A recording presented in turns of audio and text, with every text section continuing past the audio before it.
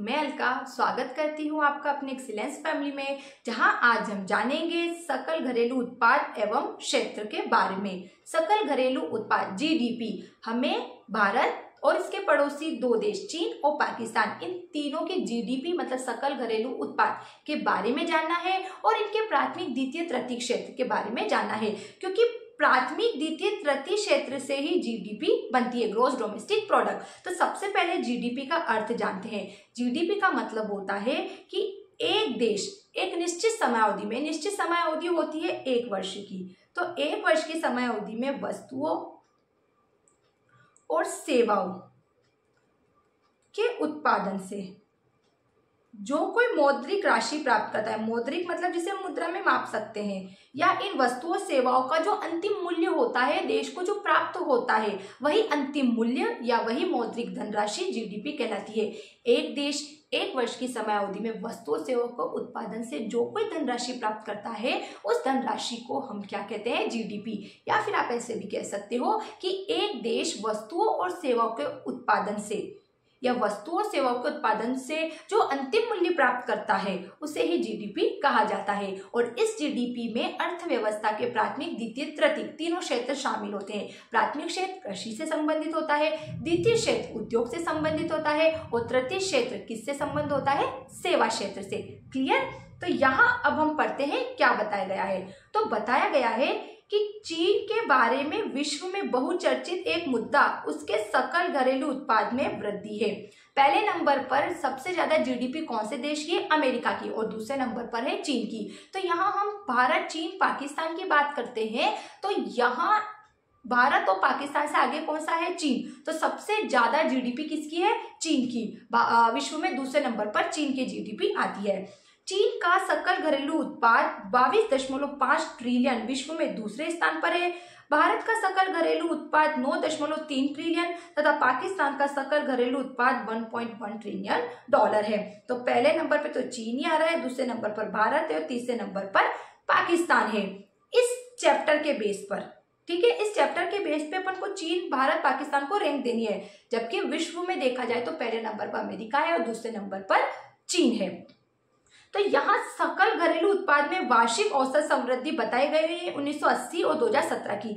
मतलब हम यहाँ 1980 और 90 के बीच की जीडीपी देखेंगे और 2015 और 2017 की जीडीपी देखेंगे।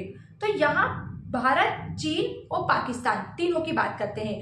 तो भारत की वार्षिक औसत समृद्धि दर मतलब एक वर्ष की औसत समृद्धि दर क्या है? फाइव पॉइंट सेवन, जबकि चीन की क्या है? टेन पॉइंट थ्री मतलब कि भारत से डबल भारत 5.7 है तो चीन 10.3 है और वही पाकिस्तान 6.3 है। तो पहले नंबर पे यहाँ पर चीन, दूसरे नंबर पर भारत और तीसरे नंबर पर पाकिस्तान है। और 2015-17 में 2015 से 17 में वार्षिक समृद्धि दर पाँच दशमलव सात से सात दशमलव तीन हो जाती है मतलब भारत की बढ़ जाती है प्लस हो गई। चीन की 10.3 से 6.8 हो जाती है। मतलब घट जाती है, उसी तरीके से पाकिस्तान की 6.3 से 5.3 हो जाती है। मतलब घट जाती है। तो यहाँ जीडीपी हमने देखी 1980 से 90 के बीच की समृद्धि दर देखी, भारत, चीन, पाकिस्तान की और 2015 से 17 की देखी। फिर आगे इस दर के बारे में बताया गया है कि 1980 के दशक में पाकिस्तान भारत से आगे था। पाकिस्तान भारत से आगे था। भारत की 5.7 थी, जबकि पाकिस्तान की कितनी थी? 6.3 थी। तो 1980 से 90 के दशक में पाकिस्तान भारत से आगे था। वहीं 2015-17 में वह भारत से पीछे रह गया। भारत 7.3 था तो पाकिस्तान 5.3 पर था। चीन की समृद्धि दोहरे अंकों में थी। भारत की 5.3 थी तो चीन की 10.6 थी। भारत सबसे नीचे था। ठीक? मतलब पहले नंबर पे तो चीन, दूसरे पे पाकिस्तान आ रहा था और तीसरे पे भारत आ रहा था, ये देखो। पहले पर चीन, ये हमने पढ़ा था दूसरे पे सॉरी मैंने यहाँ पे गलत बता दिया था। दूसरे पर, दूसरे नंबर पर पाकिस्तान आ रहा है और तीसरे नंबर पर यहाँ पर भारत था। फिर आगे बताया गया 2015-17 के दशक में पाकिस्तान और चीन की समृद्धि दरों में मामूली गिरावट आई, जबकि भारत की विकास दर में मामूली वृद्धि आई। हमने पढ़ा था 2015-17 के आंकड़ों में कि भारत की समृद्धि दर बड़ी फाइव पॉइंट से सेवन पे आ गई है, जबकि चीन और पाकिस्तान की घट गई थी। कुछ विद्वानों का मत था कि पाकिस्तान में उन्नीस सौ अठासी में प्रारंभ की गई सुधार प्रक्रिया तथा राजनीतिक अस्थिरता इस लंबी अवधि में प्रवृत्ति का मुख्य कारण था, जब चीन 2080 से 90 में डबल हो रहा था। दो बताए आपके दोहरे अंकों में थी। चीन की जीडीपी भारत की 5.3 थी तो चीन की 10 पॉइंट थी। 10 पॉइंट कुछ क्या बताई थी? 10.3 थी। तो यहाँ बताया गया है तो चीन 2015 से 17 2015-17 में पीछे कैसे रह गया? तो पीछे रहने का कारण उसकी सुधार प्रक्रिया तथा राजनीतिक अस्थिरता में लंबी अवधि में मतलब कि वहाँ की पॉलिटिकल जो थी, वह सही नहीं थी।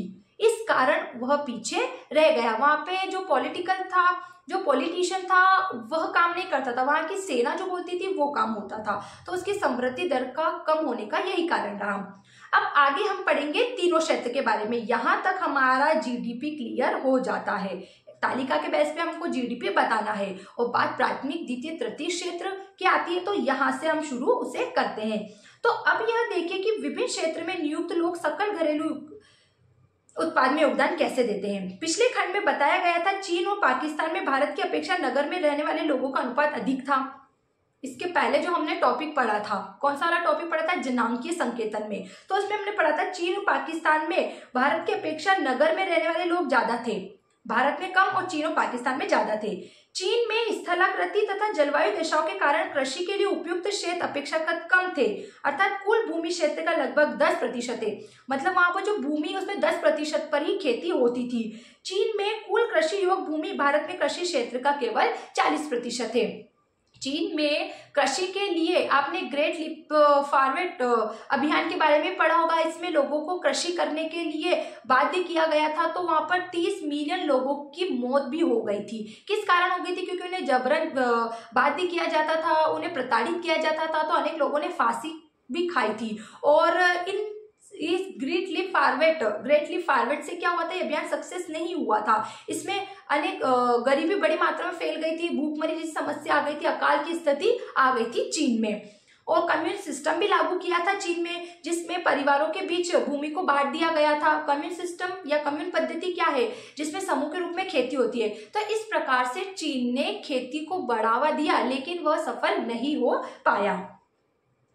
अब हम देखते हैं आगे और क्या बताया गया है। तो बताया गया 1980 के दशक तक चीन में 80 प्रतिशत से भी अधिक लोग जीविका के एकमात्र साधन के रूप में कृषि पर निर्भर थे। कृषि कितना दस परसेंट था, लेकिन फिर भी अस्सी प्रतिशत लोग कृषि पर ही निर्भर थे। उस समय से सरकार ने लोगों को कृषि कार्य त्यागने और हस्तशिल्प, वाणिज्य तथा परिवहन जैसी गतिविधियाँ अपनाने के लिए प्रेरित किया, क्योंकि कृषि क्षेत्र से वहाँ तीन मिलियन लोगों की मृत्यु हो गई थी। मतलब कृषि पर इतना ज़ोर दिया जा रहा था ग्रेट लीव फॉरवर्ड अभियान में।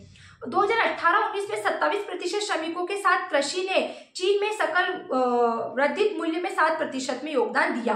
मतलब 2018-17 में सत्तावीस प्रतिशत श्रमिकों के साथ कृषि में चीन की सत्तावीस प्रतिशत लोग कृषि में लगे थे तो उस कृषि का योगदान सकल घरेलू उत्पाद में कितना रहा? सात प्रतिशत। अब इन आंकड़ों को हम इस टेबल से समझेंगे। सकल वर्धित मूल्य में योगदान और कार्यबल का वितरण मतलब कि इस जीडीपी में कितने परसेंट लोग लगे थे?